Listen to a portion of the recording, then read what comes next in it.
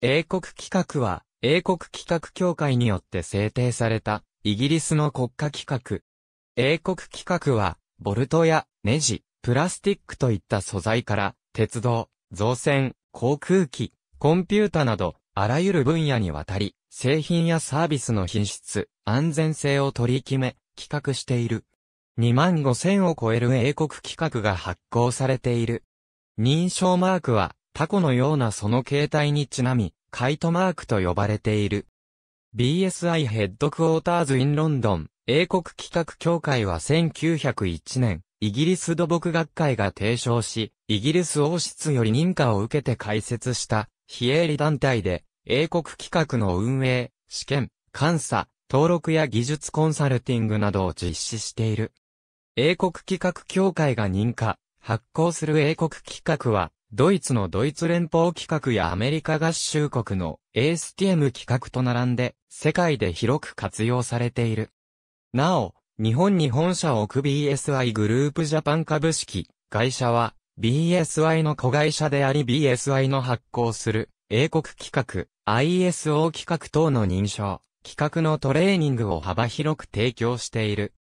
1901から1914始まり1901年1月22日、ロンドンのタワーブリッジを設計したサージョン・ウルフ、バリーが土木技術者協会の委員会に、鉄鋼部門の標準化を検討する委員会の発足を提唱1901年4月26日、初めての工学標準化委員会が開催される。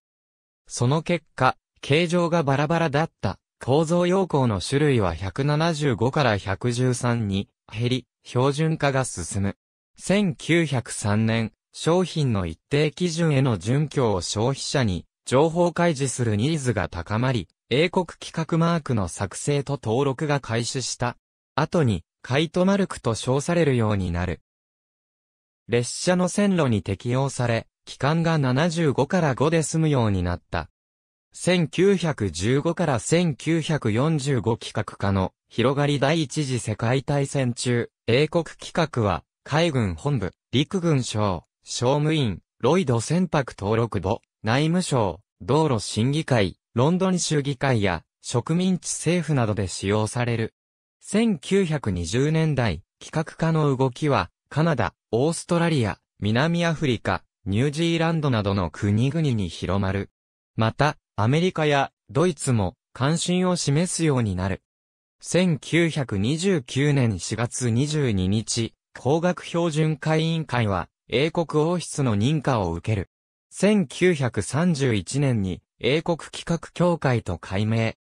1946から1975消費者の懸念の高まりと規格の国際統一化への動き1950年代後半から1960年代、市場に消費者製品が溢れ、同時に粗悪な品質の製品も目立つようになる。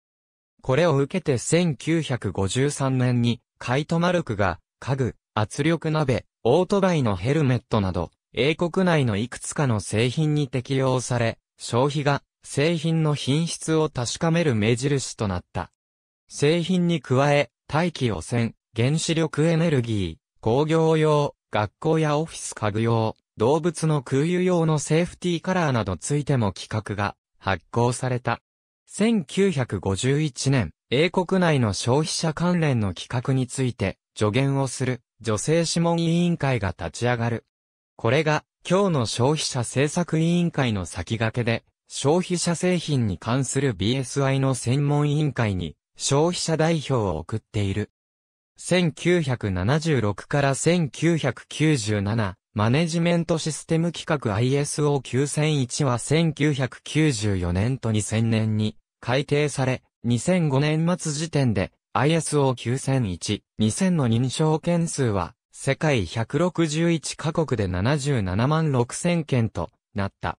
ISO 14001は1996年に発行後、2004年に改定され、2005年末時点の認証件数は138カ国で11万1000件となった。BSI グループは、英国内の規制緩和により、英国、ヨーロッパを超えて、全世界でビジネスを展開。1998、グローバル化の拡大1998年から2007年までの間、下記組織を買収。 CEEM、MertControl、International Standards Certification Pte Limited、KPMG の北米の ISO 審査事業、 Linwood Cargo Survey AB、KPMG。サーティフィケーション BV、ニズジールと、 Entropy International Limited、Benchmark Certification Pty Limited。ありがとうございます。